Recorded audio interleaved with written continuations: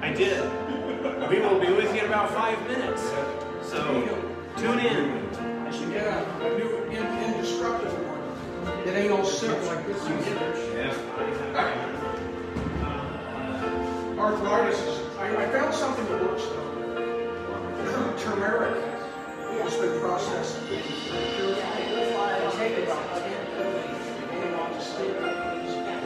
It's the only way I can.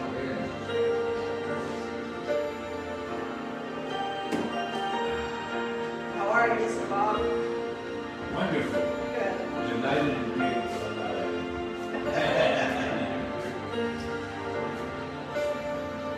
This group had 2003 a attitude change. Does your guys' church here believe uh, heavenly tongues? Every single cracks. I mean, like you guys practice it regularly. Okay. Angelica's church, and they actually, during sermon worship time like this, they have positive between songs where people are encouraged to give a prophetic word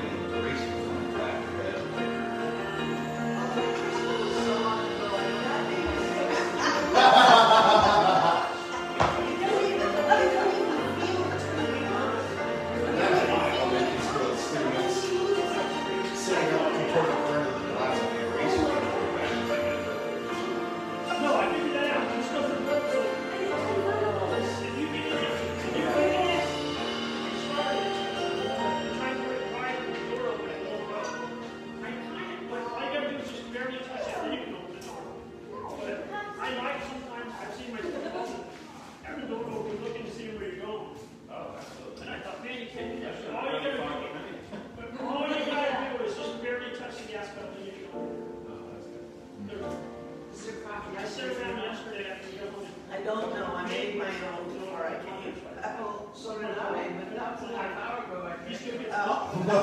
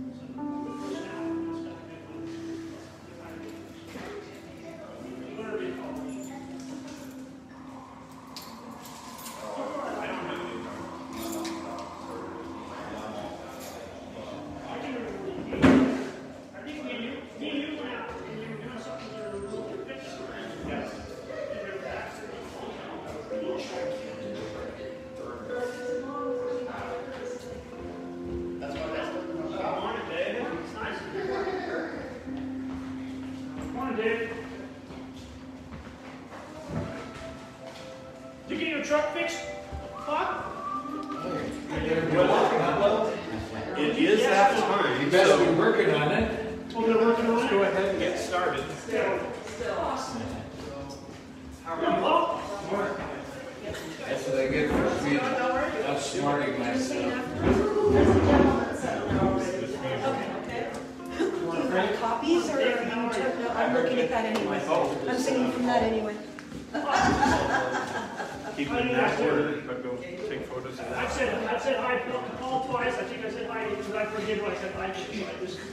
covers all the bases. covered Hi, all- David.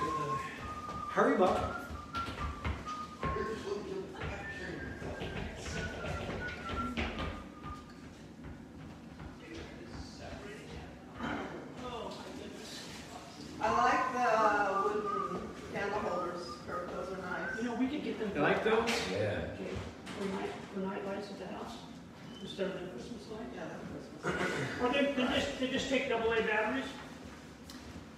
Candles, they came with whatever batteries were in them from Costco. So you don't know. And we have had those for over a year. We use them fairly frequently, and they're still going, so, um, Cause we, cause it'd be nice I don't for- know. It'd be nice for a night light at home. It takes, uh, looks like double A's, Oh, good. yeah, so. Find out where he got them. And it has a remote control. Ooh, we could do, ooh. Now I have two sets, and the remote control works with both. You know, we should do that. Well, let's go ahead and get started.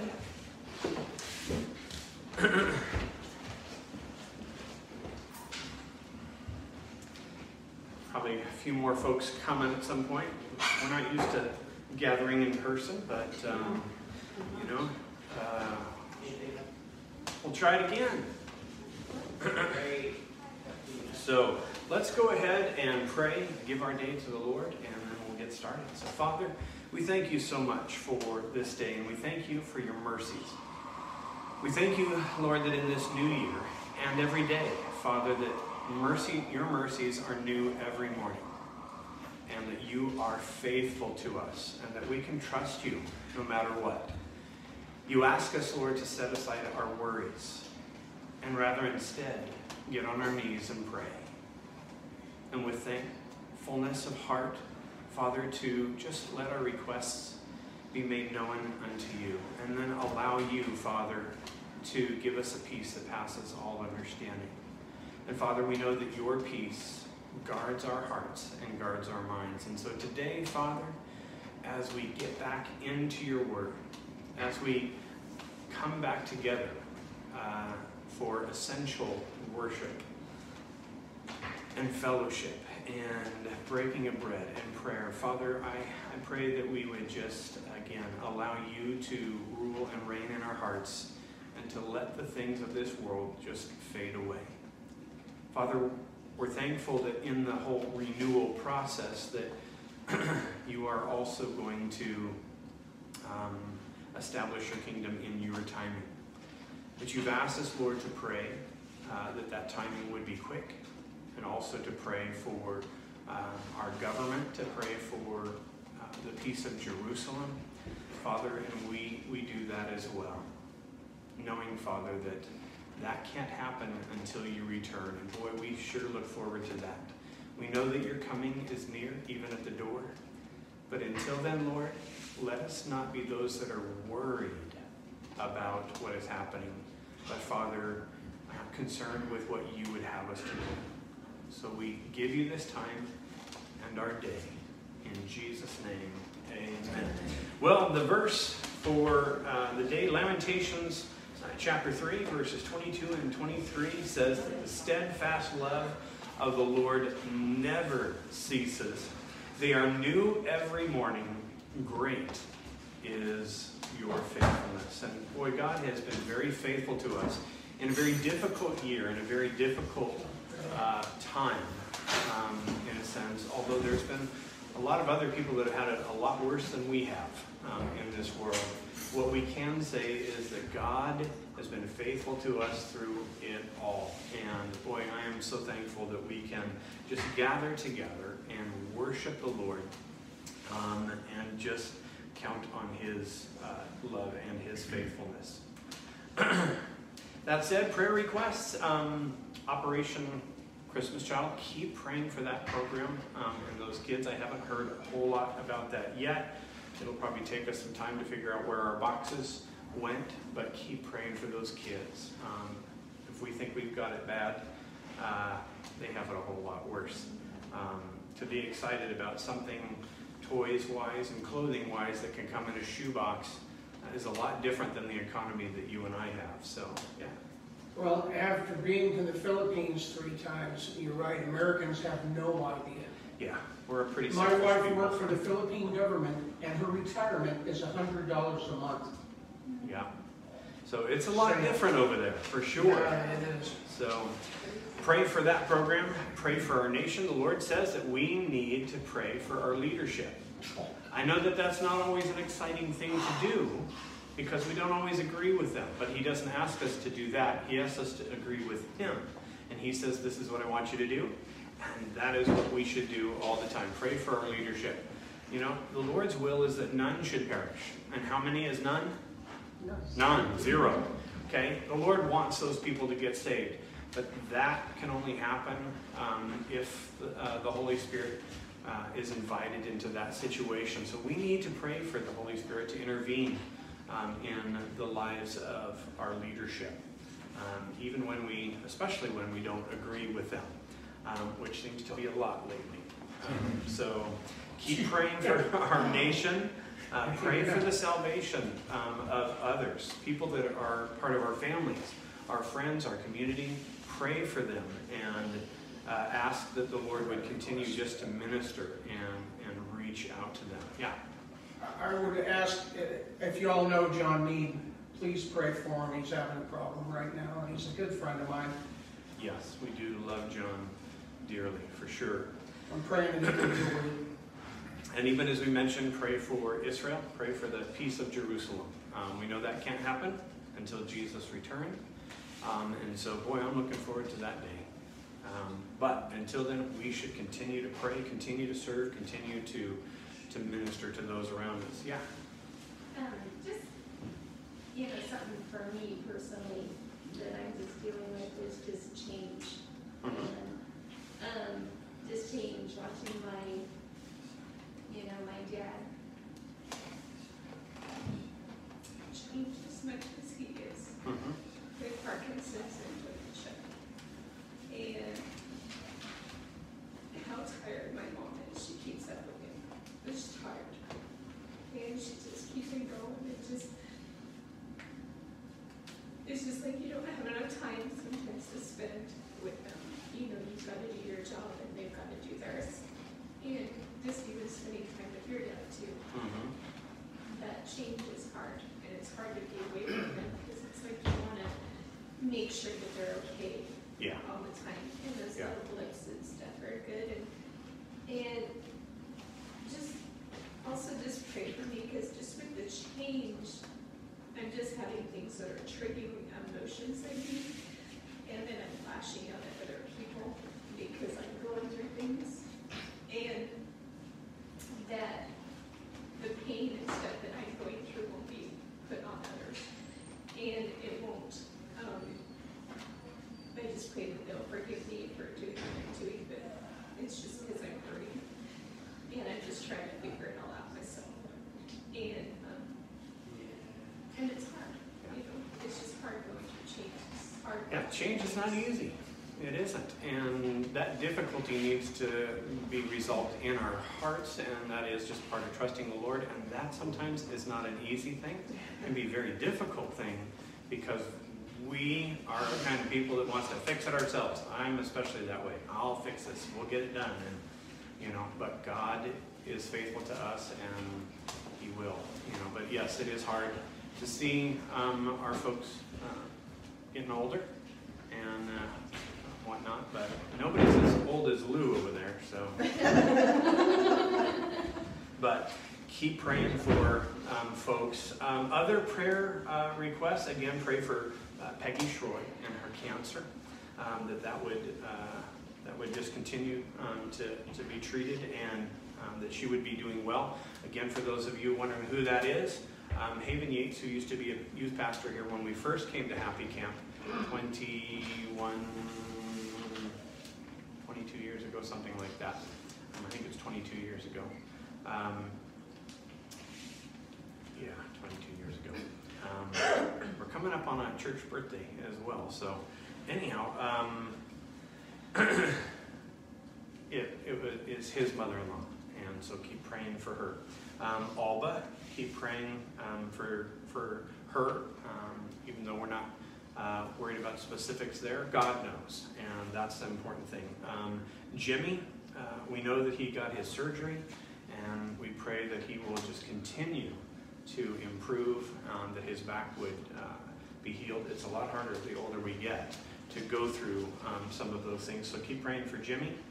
Um, Alice's husband, um, Jim, uh, different Jim, keep praying for uh, his cancer. Those were the folks that come in the summer and do uh, some uh, gold mining and, and, that kind of stuff. So keep praying for, for them.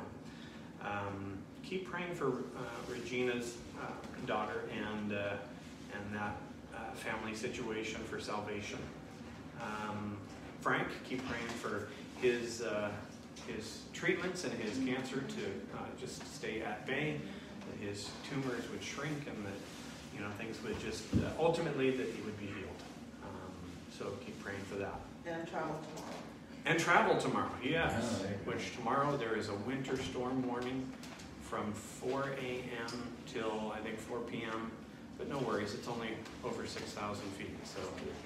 So there's no snow? Uh, not here. Unless you live here, unless you live I know that it feels. Yeah, I got a big drive. I know that it feels as though, um, you know, things are, are different um, and things uh, are a little harder uh, to get through, but keep hanging in there um, and whatnot. Keep praying. Um, shoulder replacement uh, for Debbie Jacobson. Um, pray that she can get through her. Um, what's the word I'm looking for? Her rehab. That's it. Okay. Um, Dan Bushy. I know that uh, he's home now, um, and I'm sure that he is very grateful to be home. But um, that can still be uh, a, difficult road uh, for him. So we'll go ahead and keep praying for, for that situation um, as well, and for Dan. Um, there's a few folks in Seiad that are looking for some direction, some wisdom, some understanding. Um, so keep praying for them. The Lord knows who that is. Um, Zach Ablett, continue to pray for him. He's the young man um, with the surfing accident uh, that broke and crushed his C5 and 6. He's doing really well uh, in his rehabilitation. He is in Colorado at uh, Craig, um, and that's a, a, pretty big name hospital uh, for these type of uh, rehabilitation and treatments. And um, it's difficult. I uh, saw a post that the family, uh, his mom, dad, brother, sister, brothers and sister, have to, you know, kind of head home um, and whatnot. But that kid amazes me. He is just so, hey, I'm excited about the changes in life. I'm excited to see what God uh, will do. And so keep praying for Zach that uh, he will recover, he will recover from that and have a full recovery. Um, he has exceeded all expectations, but that's the way God works. In fact, he was questioned just the other day. You know, how come you as a young man have so much hope and so much uh, excitement about a situation that would appear bad? He said, I'm just so excited to see what the Lord's going to do um, that I don't know. I'm just, it's all my faith in Jesus, and I think that's awesome. So keep praying for, for that healing. There were a couple of more um, that are uh, that are coming up, and we'll get to those um, here before too long. And yeah, we'll do a little adjustment on the sound thing until um, the new microphone comes in and, and whatnot. It um, it got shipped from Sacramento to Illinois, which is the wrong way. So, but we did narrow down some things. Um, other things that, or other prayer requests that are, um, some of you know Jesse Hernandez, who was a medical unit leader here on a fire years ago. He has uh, COVID, and um, being a medical guy for so many years, um, it's kind of uh, interesting to see his description of COVID um, and just the stuff that he's suffering through and uh, and whatnot. And of course, we know some folks here in town that have had it. Some go really easy, and some go very difficult. Um, but uh, anyway, Jesse's having a bit uh, more difficulty, so keep praying for him. Um, who is the other one? It's on my phone, which is right there. Um, maybe it'll come to my mind, but keep praying for those that do. And if you wish, post uh, your prayer request. We'll be happy to, to pray for you. But I'd like to request prayer for all of our protection, God's guiding angels and holy wisdom, and His light to guide our path, and Mhm. just the knowledge of His love, and that He's working whenever we don't feel it working, and just know that He's always there with us, above us, to the side of us, below us, around us. Yep, absolutely. Absolutely.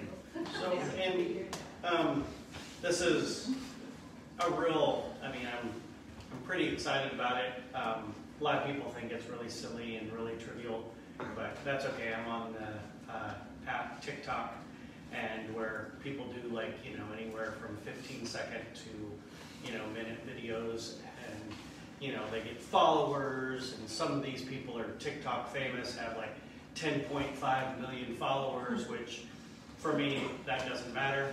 Um, what mattered to me was getting a thousand, because then I can go live.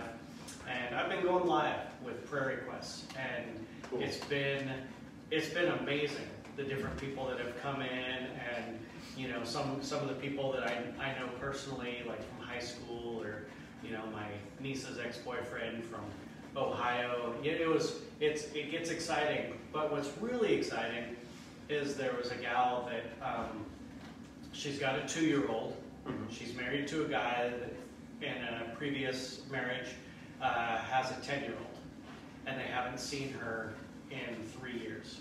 So her youngest daughter has never met the older daughter, and they were really grieved about that.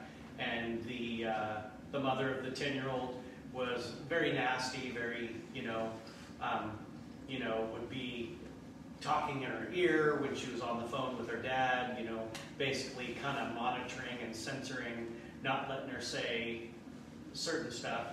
And so they just asked for prayer, said, we're going in for a court date tomorrow, you know, just give us, you know, we just like prayer, that we can reach a happy medium, that my husband can see his daughter, blah, blah, blah. Anyway, Jesus Christ. next day I was, you know, going live and I was, you know, praying and this gal pops on and she goes, you're never going to believe what happened today. She goes, I don't know why, but right in the middle of like his ex-wife, you know, like bad mouthing him, all of a sudden the judge just stopped her, slammed down his gavel and he said, well, you guys need to iron this out by mid-January, but in the meantime, she gets to come and be with her father for two weeks for the holidays. Oh, wow. And, and the mother, rah, rah, you know, and end of discussion. You know, this will happen. And so I was just, I was blown away. And it's really cool because every step of the way, um, she keeps on, you know, like tagging me in like different posts. So I get to see what's going on. And it's just, it's incredible. Um, just to let you know, I got almost 3,000 followers. It's really cool. Wow, you're famous. Well, nothing compared to some, it, but that part doesn't matter to me. Right. What matters is that, you know, people are responding and different little videos that I'm able to do, people are responding. And to tell you the truth, I know this sounds funny, but if you know me, you're gonna laugh that I thought this was funny. But you can take snippets of somebody else's video and then you can have a response to it. And somebody just took a snippet of something that I said and they just totally slammed me and badmouthed me and were just like, this is just such BS and blah, blah, blah. And I was just like, whoo, all right, you know. Your message got out there. Because it doesn't affect me, you know, because I mean, I know that what I'm saying is the truth, but what they don't understand is when they do that, it has my name down at the bottom, like who posted it. So if people want to know what the full message was, they can go They can go come to my and see it. profile and view the whole thing. So basically, they're just giving me a little bit more free Yes, advertising. they did. So, That's and I had a conversation, and here's the thing that I don't understand is he is, he totes himself as an ex-Christian. And Ex-Christian. ex-Christian. He has um, be, been deconverted. And he and this other guy, and it was a word that I felt like I got for this other guy that's in the same position. Mhm. Anyway, I won't go into it. But basically, he asked me, started asking me all these questions. Why do you think God speaks to you and nobody else? He doesn't. You know, he can even speak through a donkey, as he did with Balaam. You know, you just gotta listen. Anyway, through the course of it, you know, it led me to point out to him the difference between a believer and a disciple. And I said, if you've no longer a believer, then that's probably all you were, is you were never a disciple, which is a wholehearted follower. It is, because even the demons believe in Jesus. Yeah. Yeah. So, So- but it's through a conversation. So keep me in prayer on that because I was really depressed when COVID started because I had just gotten the youth group back up and running. Mhm. And, you know, a month and a half later, COVID starts and so no more youth group and, you know, and as much as I try to encourage, I know that a lot of the kids aren't watching me on Sundays and I, I probably wouldn't if I was their age, and that's fine. I don't care. Uh, Not when you got Angry Birds and all those I know. games out there. know. Yeah, but yes, we definitely anyway, need to just pray keep me for in prayer folks, on that, sure. and as things kind of start to mellow out with COVID, hopefully, that we can start youth group again, you know, at least a little bit here and there. Yeah, well, we're definitely going to do that um, as things are changing and whatnot. So it is interesting. We do hear a lot about COVID. We'll talk a little bit about that um, today, just because it relates to uh, the topic that we're in in Acts chapter 10. But um, God is in control, and we need to trust Him in each of those situations. Yeah. Uh, Just uh, something that uh, I experienced over the holidays with my kids' church Uh-huh. uh, about uh, God's faithfulness. Uh, a family member had been praying for uh, an uncle or some some other family member who was very hard hardened and you know don't even speak to me about that balloon Uh-huh. that kind of thing. Anyway, this person kept praying, kept praying, kept praying for years, literally years and years and years, and. Uh, she heard that this family member was dying. She got there after the family member passed, so she was talking to the hospice gal there. And she said, "You won't believe it." She said, "All of a sudden, he asked me to grab a Bible, and and uh, anyway, he accepted the Lord two hours before he passed." Really? I had this incredible peace on his face as we're all accustomed to seeing if we've been around someone who's going to meet the Lord. So just just a word of how important it is to never give up. God's always at work. Yep, always, right up until the last second. Yeah. I got the the um, same type of situation with somebody here um, not that long ago, where just a couple days later, you know, um, they passed away after accepting Jesus, and I just said, "Thank you, Lord." You know. So yes. Anybody else? Any other prayer requests? All right. Well, then let's go ahead and pray. Father, we thank you for each of these names and each of these situations that are on this list. And Father, we are so grateful that we can come to you, not with our anxieties, but with our requests. Knowing, Lord, that you are going to work in each of these situations. Father, we ask for your perfect will in each of these. And pray, Father, that we would um, just be understanding and confident in what you are doing as we trust you with each of these. Father, we thank you for the opportunity that we have to come boldly before your throne and place these at your feet and just say, We need your help. We need the answers. We need the direction. We need the healing that you would want uh, for us. And so, Father, we just give these things to you, each and every one, knowing, Lord, that you are going to do uh, a unique uh, thing in each one. And, Father, Help us to remember that you are taking us from glory to even greater glory until the day that we are with you uh, when we get to see you in all of your glory. So, Father, um, just go to work in each of these and help us to remember to pray faithfully and diligently uh, for each of these situations. In Jesus' name we pray. Amen. Amen. Well, um, services for the week. Um, we're going to start the um, Revel- Revelation study or the Rev study. Um, that'll be um, online at uh, my site, Kirk Eadie. Um, and I'll do that um, more than likely from home. And as I had said before, there is a possibility that I could have to end the study quickly and go on a medical uh, um, call. However, I know you're waving. Let me finish. Um, Heather is going to stay in town, um, but if something sounds really bad, I'll get up and go. Um, but uh, we'll just continue to uh, study through the Word. And then Friday, uh, men's uh, prayer breakfast. Any word? Still waiting. Still on, waiting uh, on, the on other the cooks. confirmation Yeah. and the other cook. Well, that's that's good. You don't want to have to cook by yourself. No.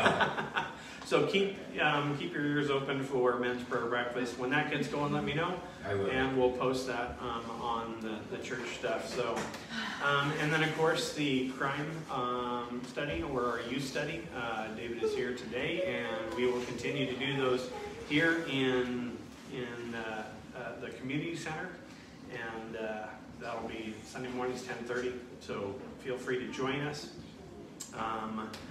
And uh, giving. Um, we've got the wood box, we've got the PO box, and we've got the uh, the clicky box on, um, on the, the happycampfellowship.org. So um, thank you for uh, faithfully giving as the Lord um, directs. And now on to amazing facts that will blow your mind.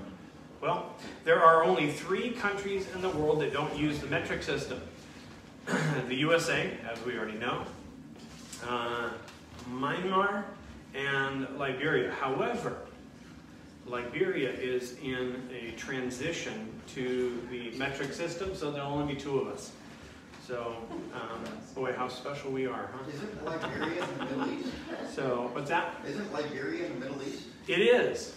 So, birthdays, none um, that we um, are aware of uh, today, or that somebody didn't write their birthday down, something like that. But now we're going to go ahead. Before we do this, um, and we're going to change up some of the sound because I guess it's not doing so well. So It's a little let's dim. try making some adjustments. This isn't perfect yet, but um, we are we're getting there. So hopefully this change will.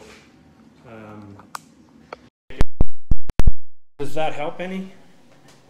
Hello, test, test, test. I gotta wait for the screen to catch up. Oh, got it. but it is um, it's challenging. I'm not a techie kind of person, so learning to make these adjustments and you study and you see Much things um, a lot different. So uh, we got a couple of things, like I said, that are coming, but they turned around from Sacramento and now they're in Illinois. Um, Just you gotta love the, the postal service stuff, right?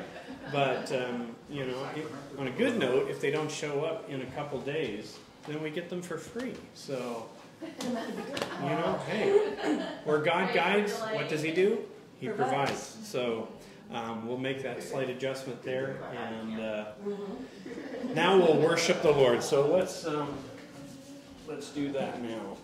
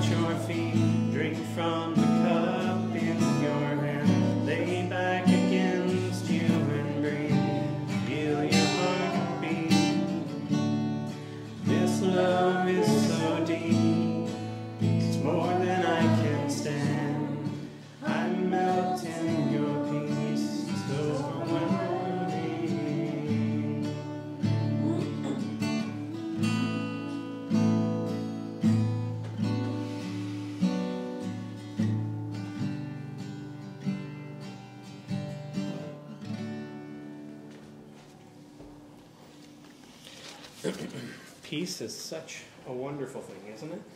When we can just sit back, worship the Lord, and just know He's in control, it's just, it's so freeing. It's also good for blood pressure control.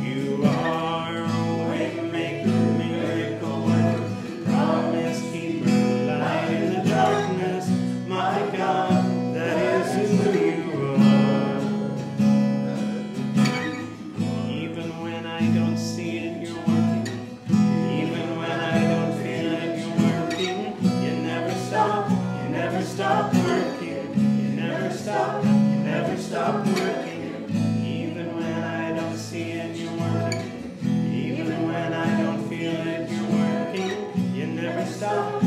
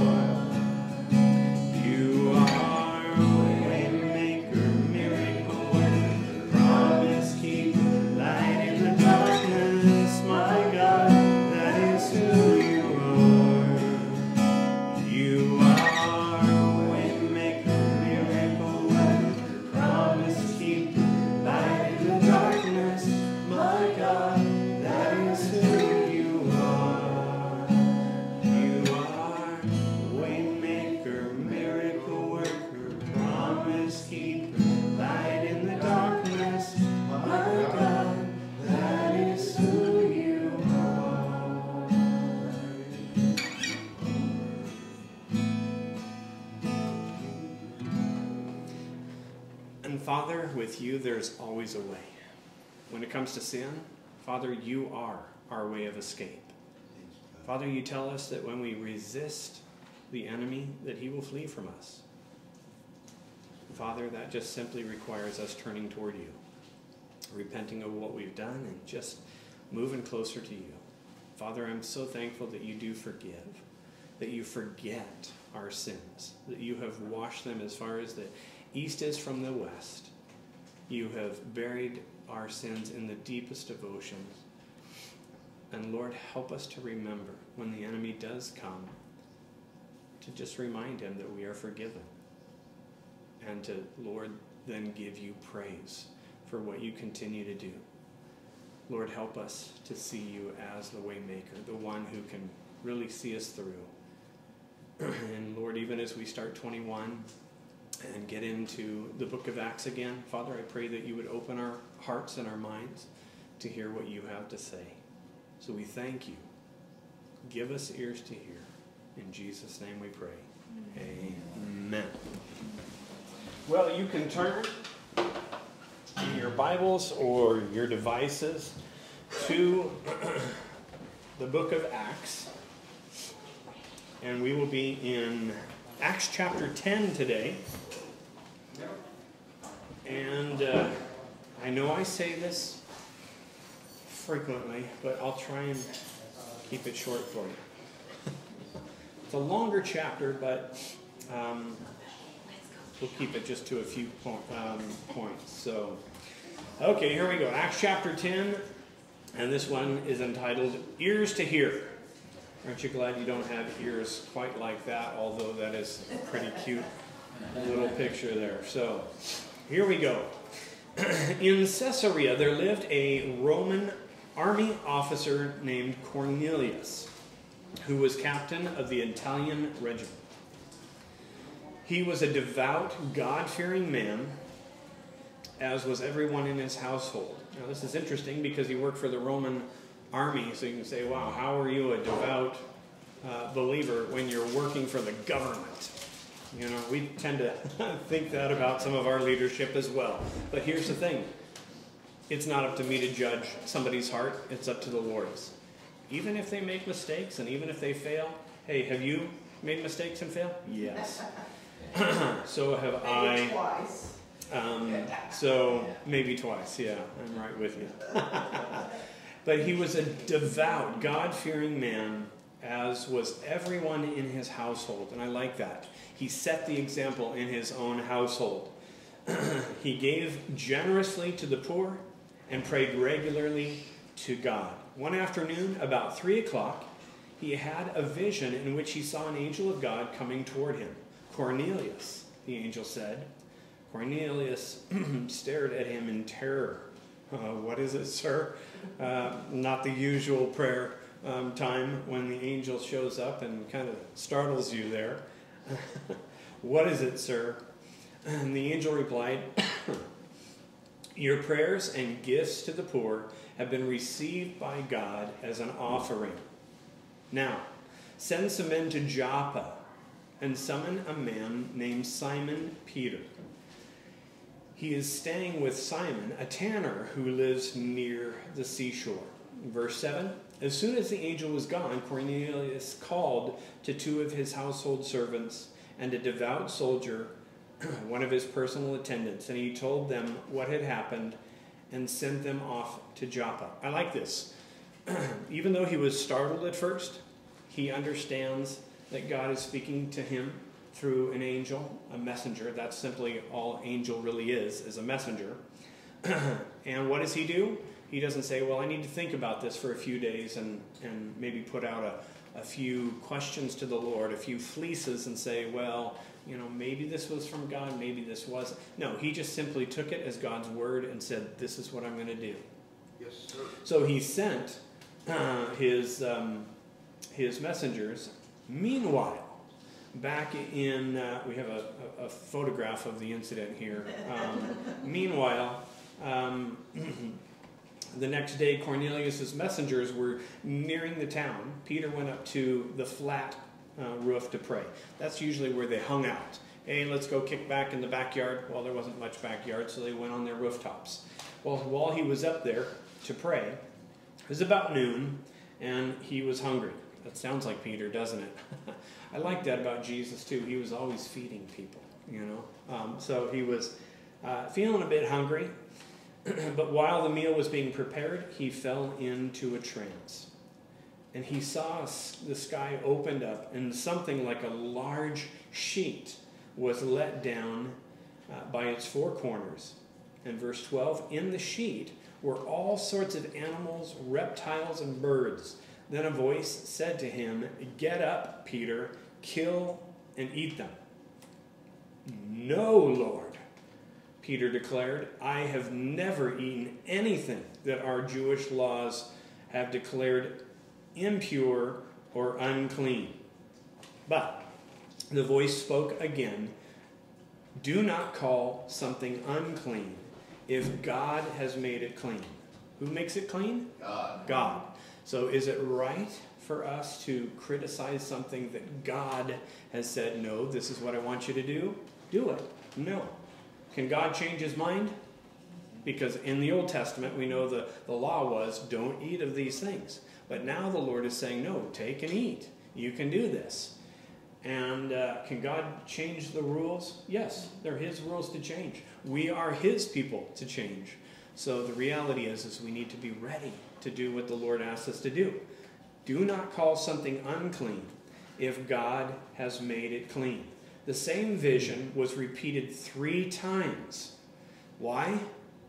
Well, Cornelius, it only took how many times? One. But we know Peter. you and I are Peter. I don't know about this. I'm going to have to think about this one. Maybe I'll put out a few fleeces. And here it comes the second time. Lord, are you sure about this? Um, maybe I should think about this a little bit more. How many times did Peter deny the Lord? Well, three times. Peter is a uh, the third time's a charm, which is I think where this this kind of term started. The third time is a charm, you know. Yeah, that's kind of me. I am a third timer kind of person. The same vision repeated three times. Then the sheet was suddenly pulled up into heaven. How many of you in the past, let's just say the past year, 2020, have told the Lord, no? No, Lord, I cannot do that. I will not do that. Yeah, um, I have said that myself. Um, especially after the Lord has said, Yes, this is what I want you to do, and yet you still said no. Um, you might catch that joke that's appearing there on the screen there. Happy New Year. Um, who knows the answer to that? That's uh, Malchus. Remember when Peter chopped off the ear? Yeah. Okay. Happy New Ear. Hence the term, you know, um, give us ears to hear. You know, ears to hear. Um, have I told the Lord no in the last year? Yes, um, I have. and there is that saying that says, never say never. Why? Because with the Lord, how many things are possible? All. Everything. Okay? Anything is possible. But, where it becomes impossible is when I tell God no. And that becomes a very difficult thing.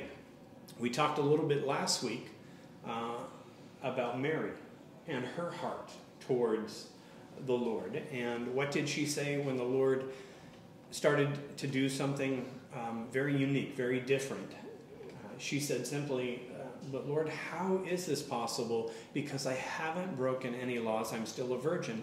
How is it that I can become pregnant? And what did what did God say? A, I'm going to overshadow you. I'm going to send my cloud of glory. I'm going to surround you. And just like I spoke this world into existence, I'm also going to speak into existence um, a new life inside of you. Um, you are the one that was prophesied. You are that. And what did she say?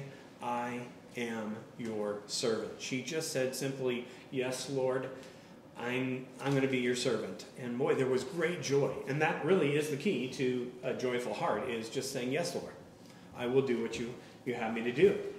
So, should we ever say never? Well, this is what James says in chapter 4, uh, verse 13 of the book of James. Now, listen, you say, you who say, today or tomorrow we will go to this or that city spend a year there, carry on business, and make money. Why, you do not even know what will happen tomorrow. What is your life? You are a mist that appears for a little while and then vanishes. Instead, you ought to say, If it is the Lord's will, we will live and do this or that. As it is, you boast in your arrogant schemes all such boasting is evil. And anyone then knows the good that ought, if anyone knows the good that ought, uh, or that they ought to do, and doesn't do it, for him it is sin. Boy, our lives are really a vapor. I was thinking about this as my dad and I were driving, um, remembering some old memories and places that we hadn't been in years.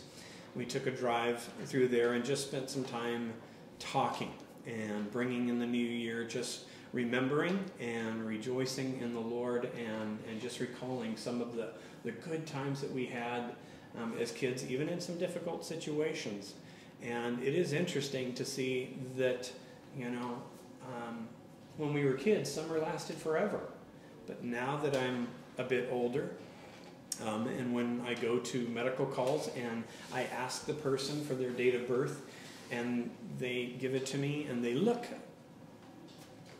dare I say it, around my age, um, and then I find out that um, I could be their dad. That, you know, this life is short. I look at my dad, who's going to be 77 in February, and I say, he's not old. He might have some old parts inside him that aren't working so well, but he's not old, you know? This life is short. I don't feel like I have been on the planet for a long time until I hear dates where people could be kids and they look older to me.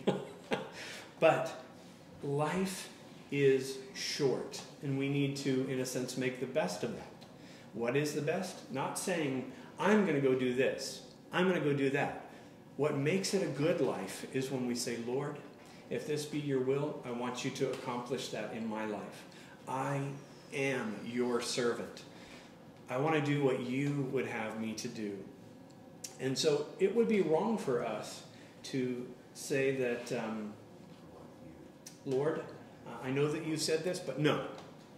It is funny. We started talking about um, things as I was thinking over this particular uh, chapter. Um, when we say no to the Lord, things that in regular life, not in our spiritual life, but in regular life, that we have said no to. Thought back to times when um, a microwave. How many of you have a microwave in your house? yeah, a lot of people do. I know you're off the grid, so that would be way too much power all of a sudden. a little hard on the on the uh, off the grid status, but how many recall? Because we're all pretty much old enough to know what it was like when the first microwaves came out. Do you remember what was being said? Oh, if you put that in your house, you're going to die of radiation poisoning and all these things, and yet. Don't did, stare into did it we? too long. You'll go blind. yes, that one too. That's why they put that screen there so that you won't look at it and become blind. How many of you are blind and have loads of radiation? No. I do. I there's, do. there's probably more radiation coming out of our cell phones, honestly. So um, let's think of a few others. Speed. Back in the day, they said if you go over, I think it was 60 miles an hour, and then they changed that to 100, and then, you know, it just kept going. If you do that, your heart will stop. Or, better yet, they said you would go insane, even if your heart would stop. Crack up. Um, illnesses. Uh, they said that um, all illnesses could be solved by um, a tobacco enema. Okay, that's a little different. No, thank you. Um, it also said, rumors also said that inside Brussels sprouts were little demons, and if you ate them, that you would uh, be possessed by demons. Now, I've eaten Brussels sprouts, and I can say, you know what? That may not be too far off. Those things are nasty. I can't. Okay, what about anxiety and depression? You know how you cure that? Back in the day, you stick an ice pick in your uh, in your eye socket. Well, of course, if you're sticking an eye or a, a ice pick in your eye socket, you are going to completely forget about your anxiety and your depression. Why? Because the pain of sticking a, needle through your eye socket is just nuts.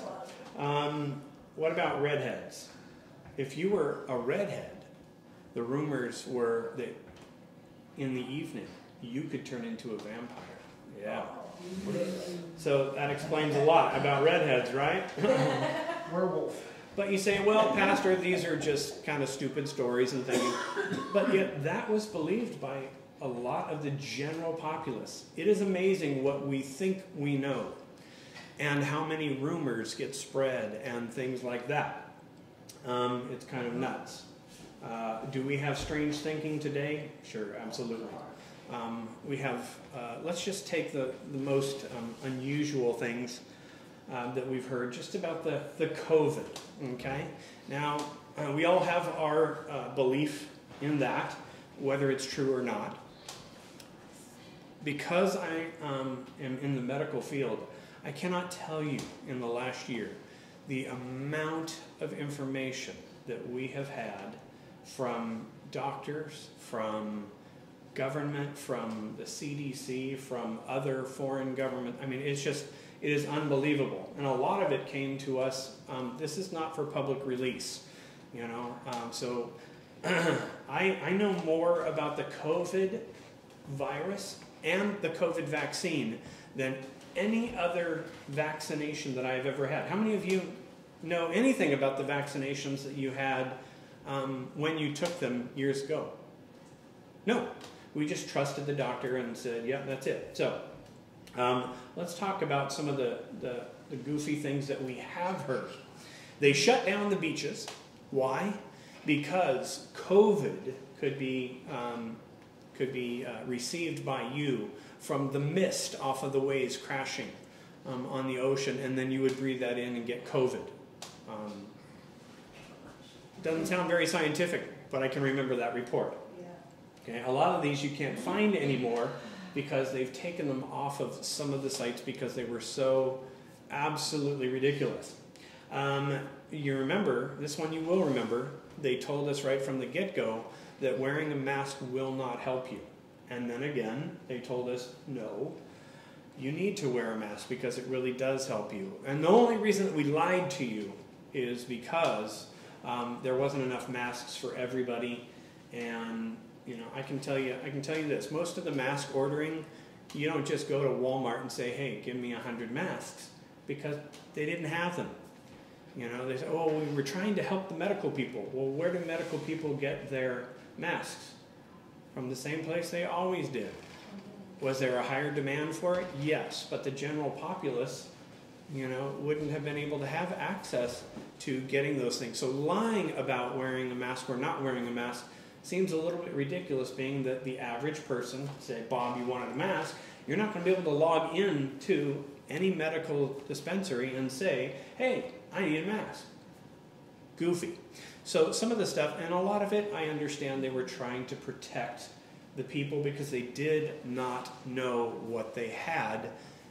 Yes, coronavirus has been around for a lot of years. You can find it on bottles of Lysol. You can uh, find vaccinations for your animals for coronavirus from years gone by. Back in 2003, um, the first vaccinations um, of the SARS and MERS, which is what develops after you have the coronavirus, those have already been in place since 2003. So jumping to a vaccine very quickly for, uh, for the COVID-19 made a lot of sense.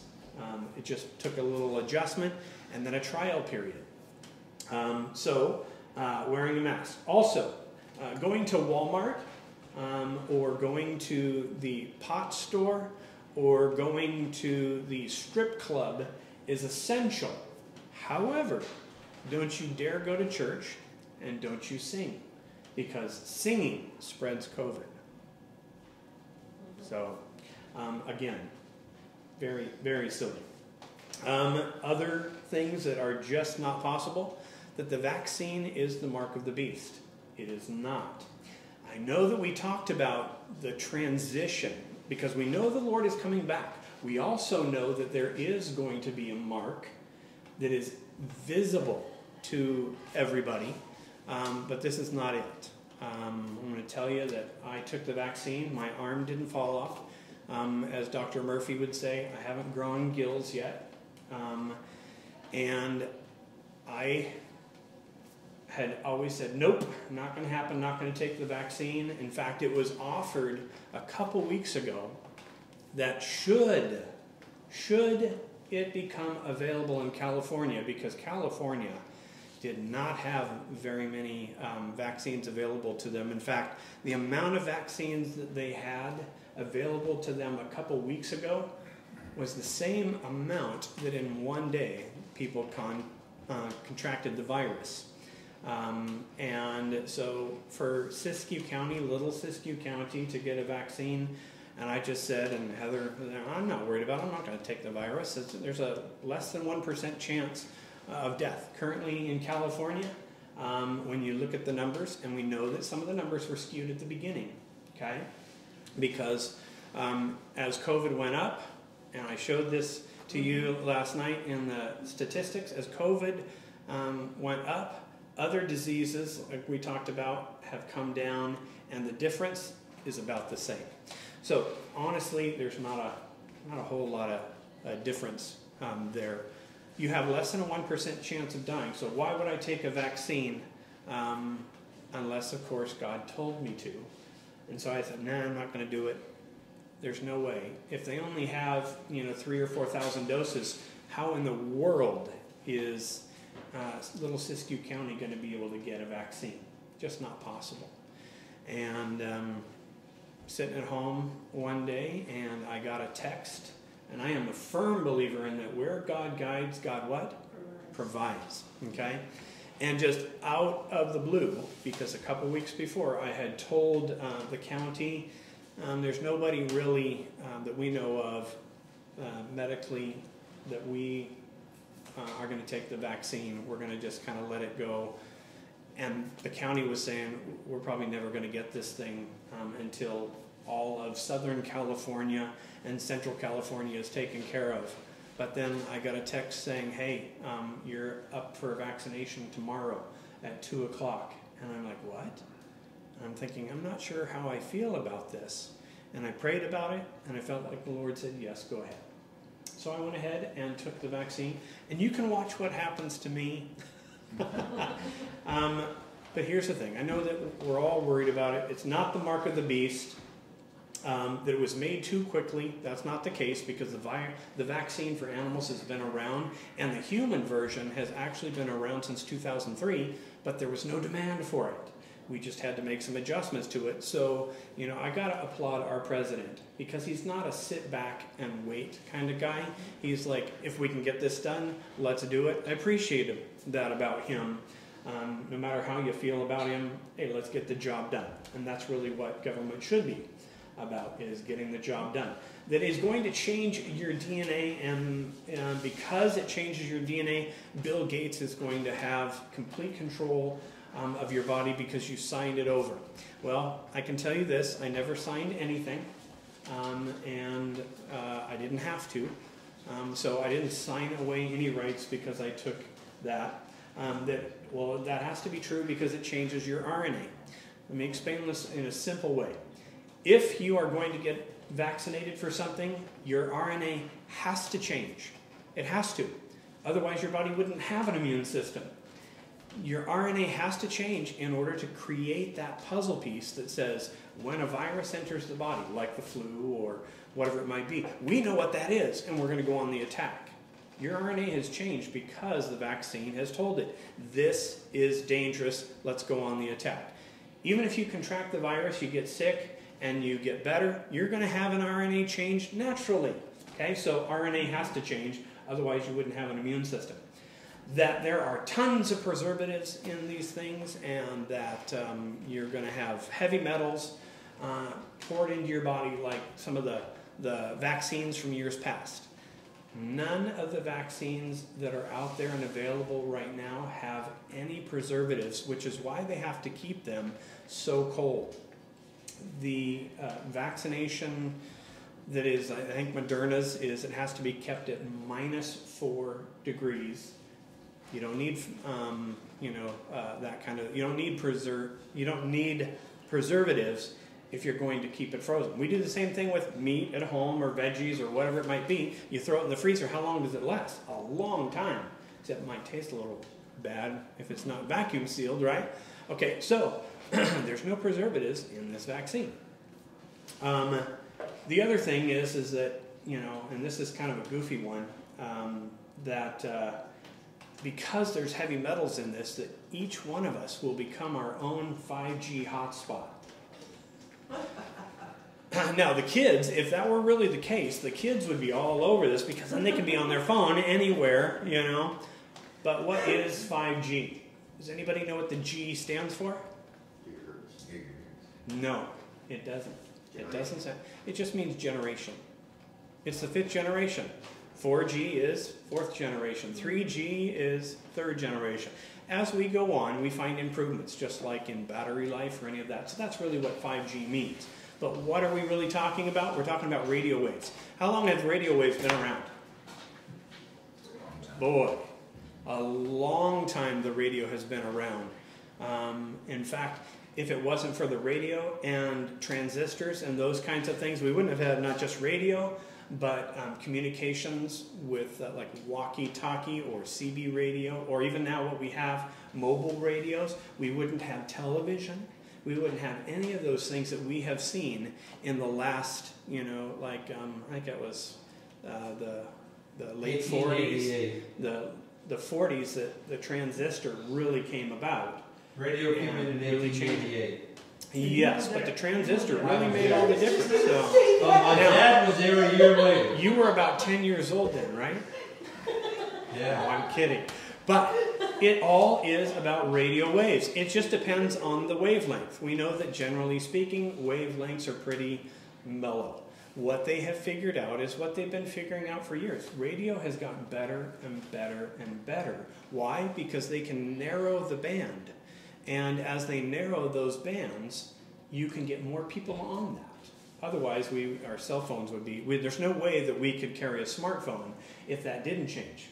My phone has more memory than my first really good computer mm-hmm. by far. Mm-hmm. And so, as we continue to, to move forward in this radio wave technology, 5G that is coming up is, oh man, but 5G has caused the coronavirus. Well, if that were possible, um, I would say, uh, you know, you could look into it and say, yes, it's diminished your immune system so that you could catch something else. But how many cities last January, when we really knew we had an issue with coronavirus, how many cities in the United States of America actually had access to 5G? Not the advertisements that you see on TV, where they turn the whole thing pink because that's their intention, or red, or whatever color that company stands for. But how many cities actually had any 5G capability in January of this year? 30. 30. Is 5G available everywhere? No. So if you're getting coronavirus from 5G, then America would have virtually nothing. So it's just not, not really possible that a radio wave will actually create a virus. Okay? And now it can um, cause some other uh, problems and issues, but it's probably not going to be radiation or any of those other things. Here's the thing when it comes to some of this stuff, realize what the scripture says. Unless these things become fulfilled, and we'll get into some of that in um, our Rev study, unless these things be fulfilled, is the Lord going to come back? No. They have to be done, they have to be fulfilled.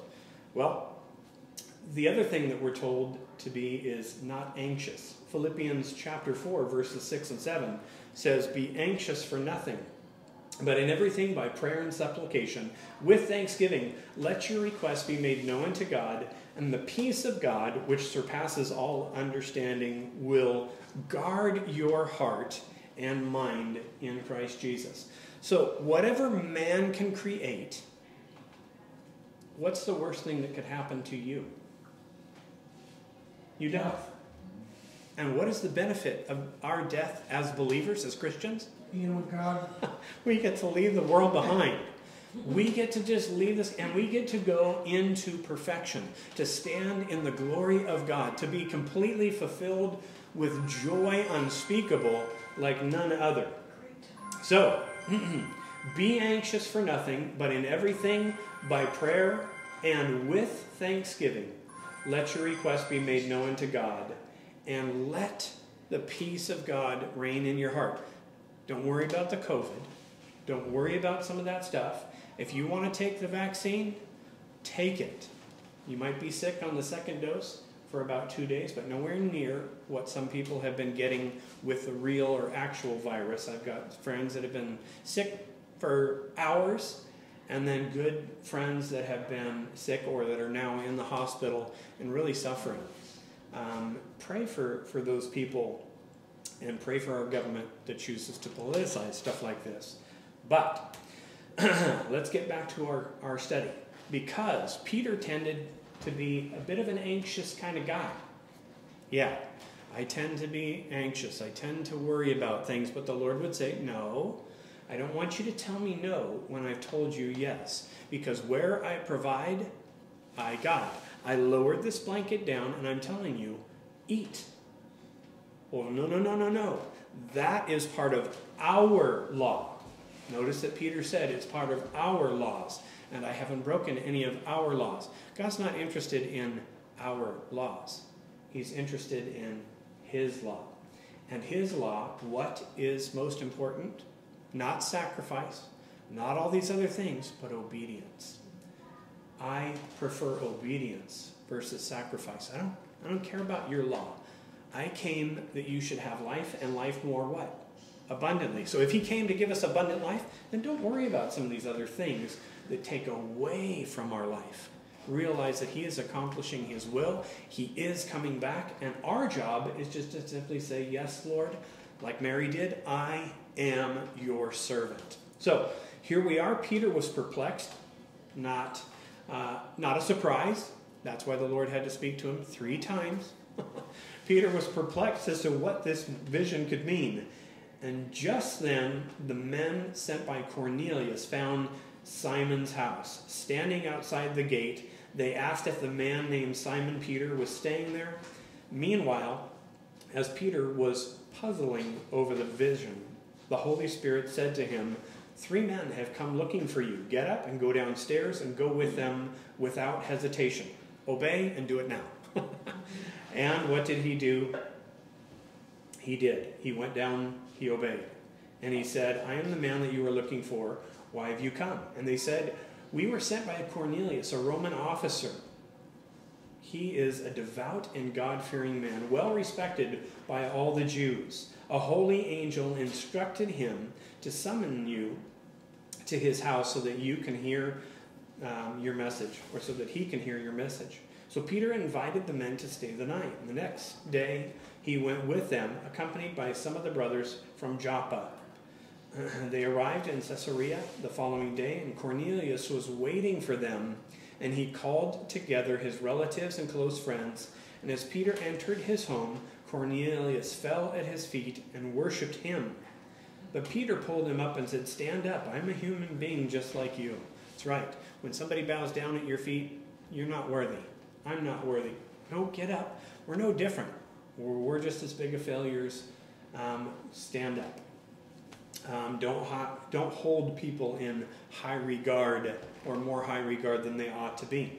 So they talked together and they went inside where many others were assembled. Verse 28 And Peter told them, You know, it is against our laws for the Jewish man or a Jewish man to enter a Gentile home like this or to associate with you. but God has shown me. I like that. Who showed Peter? God did. Who has showed you? God has. Okay? Let God open our eyes. Let Him open our hearts. God has shown me that I should no longer think of anyone as impure or unclean. Verse 29 So I came without objection as soon as I. Uh, as soon as I was sent for. Did he? Um, yes, he did. But did he tell no to the Lord just before that? Yes. Does he focus on his failure? No. He focuses on the obedience. That's what we need to do. Don't focus on your failure. Focus on the things that you did right and remind yourself, do it right again. Okay? So I came without objection. now tell me why you sent for me. Verse 30 Cornelius replied, Four days ago, I was praying in my house about this time, three o'clock in the afternoon, and suddenly a man in dazzling clothes was standing in front of me, and he told me, Cornelius, your prayer has been heard, and your gifts to the poor have been noticed by God. Now send messengers to Joppa and summon a man named Simon Peter. He is staying at the home of Simon, a tanner who lives near the seashore.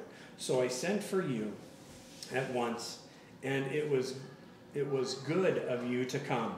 Now we are all here waiting before God to hear the message that God has given to you. I like that. This man is ready to hear the gospel, ready to go to church, which is essential.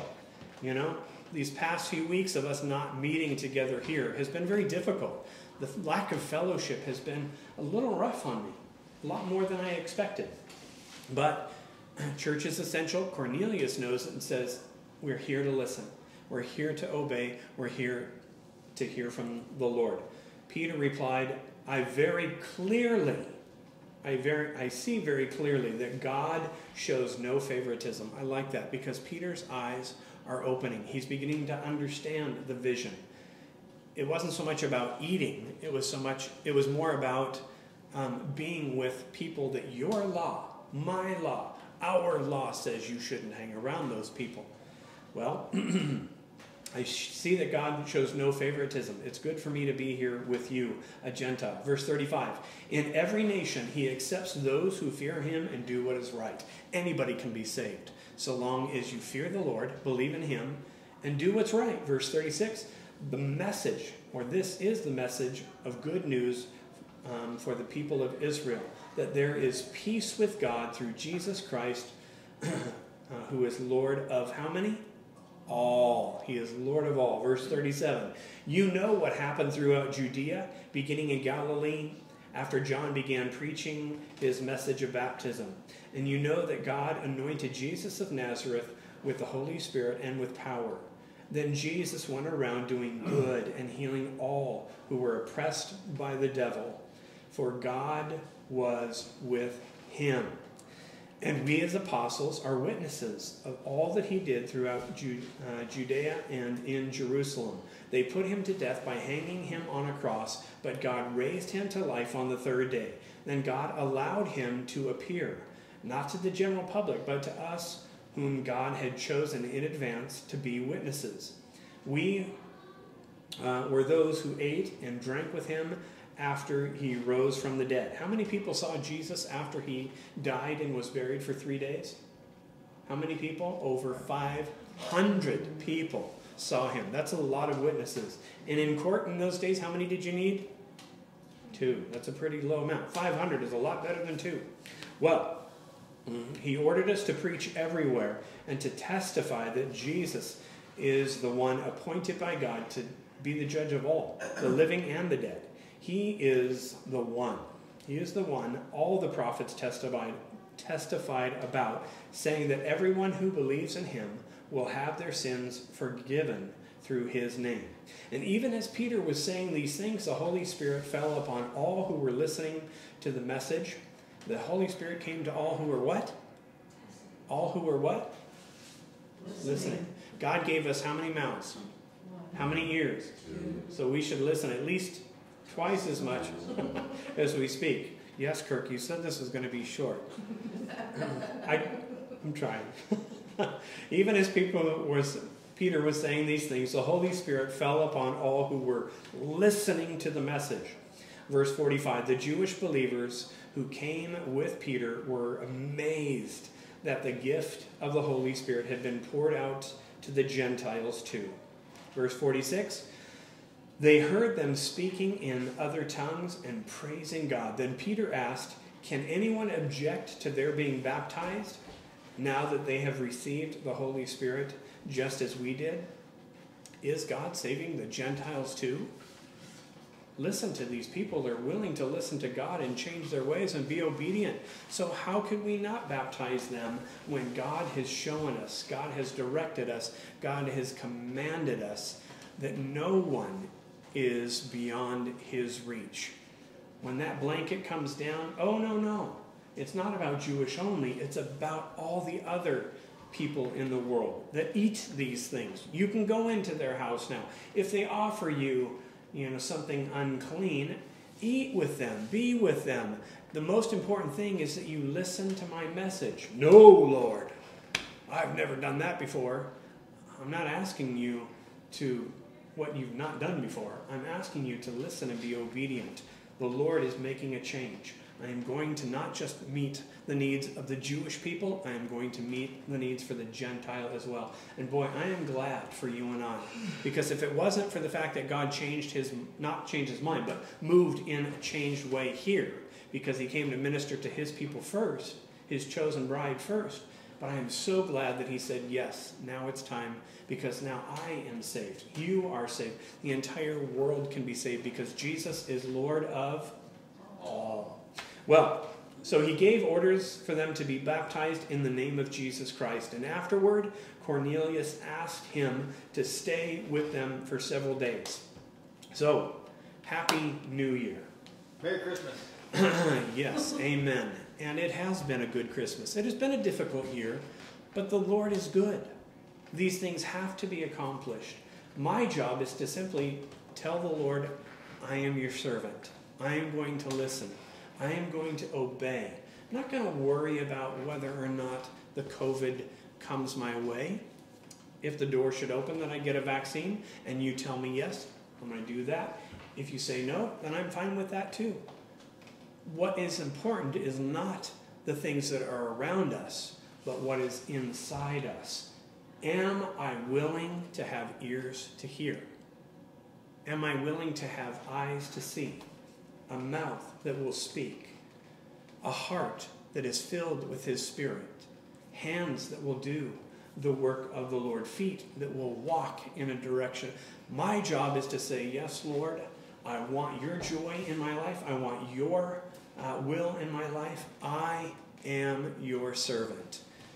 We should never say, No, Lord, but rather say, Yes, Lord, I will do whatever it is that you've asked me to do.